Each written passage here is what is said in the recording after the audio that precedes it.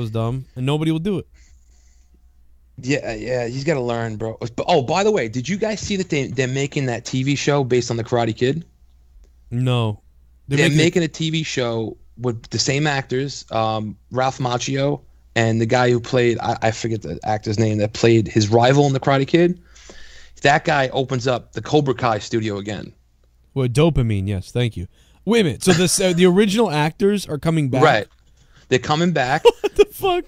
the original villain's going to reopen the Cobra Kai studio, and then Daniel-san. I, I don't know if he opens his own karate studio, but like, yeah, it's going to be a show. It's going to be. I don't know. Wouldn't if it it's be gonna great a TV if they, show. Wouldn't it be good if they just made it a comedy instead? They open up across from each other and they're like competing against each other to try to get people to come to their dojo. Like like there's kids walking by and they're like, "Hey, you know, you should join my dojo," you know, and then the kid's like, "Fuck you! I, I like I'm going home to play fucking Call of Duty." exactly, exactly, because they don't give a fuck about that shit now. So then the, the the Cobra guy across the street, he he sends his lanky lackey guy to China and he invades one of those fucking sweatshops and uh and takes all the kids and then like for like 3 weeks puts them in a window and lines them up and gets them doing all this karate stuff. And then it, that attracts people from the outside who want to be karate people too. And then then he signs up the white people and then he ships the Chinese people back and none of the white people knew these weren't even Japanese people. It's a Yeah, fucking they amazing. they all look the same. Yeah, it'd be like it'd be like that movie uh, Neighbors or whatever the fuck that one that came out recently, where the like the neighbors were having all those sorority parties or whatever. Oh right, right. Yeah, I did see that. Yeah, I'd be like that. You know, the the, the dojo. It'd be fucking crazy. Yeah, that. Yeah, that. Uh, yeah, they they in, they infiltrate the Foxconn where they're fucking making cell phones and they just hire him to put him in the window. Oh, and and then right at the beginning, you know, he comes over. He goes, you know, Daniel-san. He fucking he opened it up first, right? So of course the Cobra guy opened his second, right, and copied him or whatever.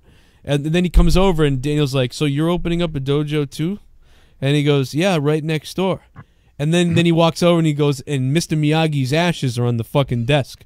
Oh. And he just grabs it. he goes, he goes, uh, so uh, it's so sad that uh, that he's that he passed on, you know. And then Daniel's like, yeah, yeah, he was a great man. He goes, yeah, he sure was. And then he just grabs him and then dumps him upside down and fucking. he fucking dumps him over Daniel's head like, Oh my god. "There's your fucking master for How you." about How's that? that? Oh my god, they start the movie like that, and Daniel's like, you know, he's he closes his eyes and he gets really angry for a second, and then he goes, "Your old your your master was nothing but a stupid gook," and then fucking. And- Jesus Christ. And then and then two bully guys come in from the side and then they beat the shit out of him for a second. And, and, and then one of the guys eats the ashes. And and then Oh and then and then Daniel Ashes are your dead cousin. and then Daniel has like one student only and he's there watching this whole thing. And then the parents of the kid go, "Let's get out of here." And then as they walk by he goes, "You know, you couldn't even protect yourself against those men. You're a shitty teacher." The kid says. Yeah, as he's as he's still covered in fucking Mr. Miyagi's ashes, yeah. No. like it's on his nose and shit, like a pile of them. Like- Like, I remember how Yokozuna used to take like the salt and like throw it up in the air and shit. That's how I looked like he was be throwing the fucking ashes. And the whole the whole reason the Cobra guy started this gym and shit is because he wants to make money, right? Like he's gonna make a lot of money, and like Daniel's car is like broken down and shit. So then Daniel just says, you know what? Fuck all this fucking fighting and karate shit, and he just opens up a fucking candy store, and then he outsells the guy, and then that's the end of the movie. Is he becomes rich off fucking karate candy bars? And his fucking partner is Artie Lang from Beer League. Like, Dude, I would watch this show. I would I would watch that show. what the fuck is wrong with us, dude? What the fuck? bro?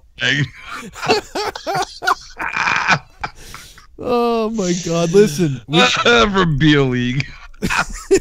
Like, like you see, you see Artie Lang like walks up to him with his, and, and Daniel-san still got the ashes on his fucking nose, and Artie Lang takes the ashes and puts them in a pipe and just starts smoking. yeah, No, he takes it with his finger and he rubs it off his face. And he, he he rubs on his gums like it's coke. Like, he's fucking and sniffing. he. And, and- and from then on, from then on, the whole series, he has this fucking awful sneeze now. he just can't shake. Like Tommy NC when he sneezes now. Yeah, yeah, yeah. So like, so the joke is like Artie, Artie after he fucking sniffs the ashes, he goes, and then, they, so then he's like, oh man, this what a I've never sneezed like that before. And then like the next episode, he comes over or something, and he goes, oh, he goes, ah, man, I've been I've been doing that ever since I snorted that amazing cocaine yesterday. And he's like, and that every was time he sneezes, he gets like a fucking. He wants to wax fucking classic cars and paint fences and shit. Sanding floors. so then he's gonna go see a doctor, and the doctor's uh fucking uh Dave, what's his face from fucking Curb Your Enthusiasm, Oh fucking um, Larry David. Larry David. Yeah, it's fu- his doctor's Larry David. He doesn't do anything to help him. He's like, I sniffed this cocaine. He's like, well, I don't see anything wrong with you. And then Larry's just like, well, I swear, doc, something. and like you know, he does this until he finally dies in real life, and then they have to just write him off at some point.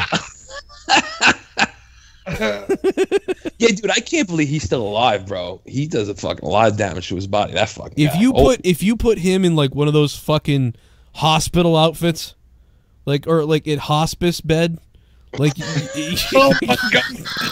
Hospice bed, dude. What the and then and then fucking Danny Torrance, Danny Torrance from The Shining has to fucking put him to sleep. He said put him in a hospice bed.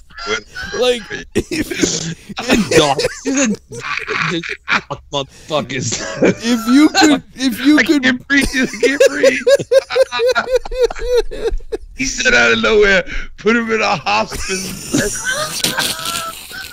bed. like I'm convinced that he's in the top ten people that are walking around that look like they should be dead. He is Yeah, in that he top looks 10. like like Yoda right before he dies in like the Yoda death scene, like laying sick in fucking bed. Imagine Yoda in a hospice bed. I'm telling you, you put him next to Artie and have people vote on who's gonna die. He Artie might win.